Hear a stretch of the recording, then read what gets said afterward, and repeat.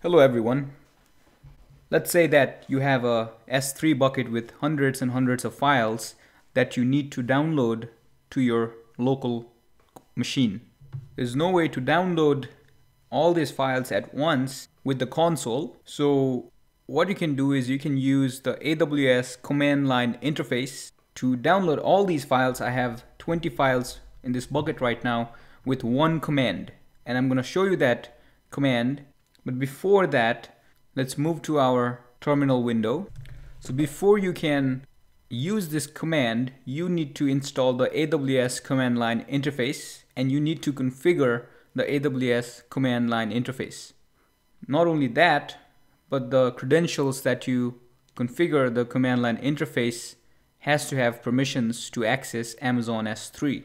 I have a video that I'm going to link in the description below that you can watch to see how you install and configure your AWS command line interface. But once you have the AWS command line interface installed and configured, the command to download everything from that bucket that we saw earlier is AWS S3 sync and the name of the origin bucket which is S3 this is the name of my bucket and I'm gonna sync everything from that bucket and I'm going to click on dot which means current folder. So once I have this I'm going to click enter. And all the files in my S3 bucket is now downloaded.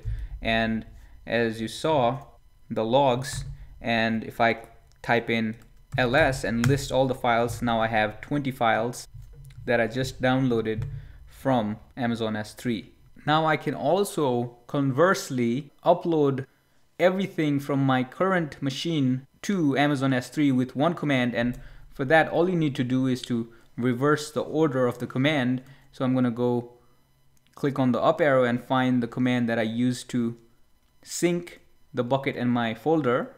So once I get to this command all I need to do is to switch the dot in front of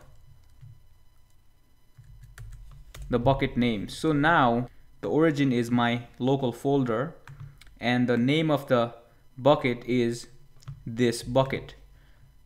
Now this bucket already has all the files that I'm about to sync.